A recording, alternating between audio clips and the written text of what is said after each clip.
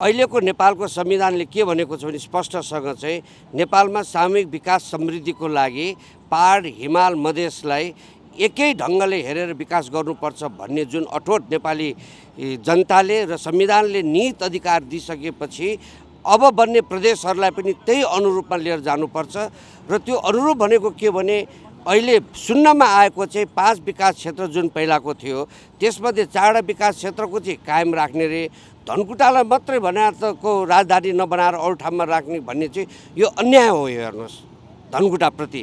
दोस्रो कुरा धनकुटामा पहिलादेखि नै तपाईँको प्राचीन कालदेखि नै आफ्नै ढङ्गले यो राजधानीको रूपमा स्वरूप के भएको छ भने पछिल्लो कालमा तपाईँको पाँच विकास क्षेत्रको अवधारणा भइसकेपछि पूर्वाञ्चलको मुख्य केन्द्र नै धनकुटा रहेको थियो। त्यसैले गर्दाखेरि त्यहाँ पर्याप्त मात्रामा पूर्वाधारहरू भएका छन्।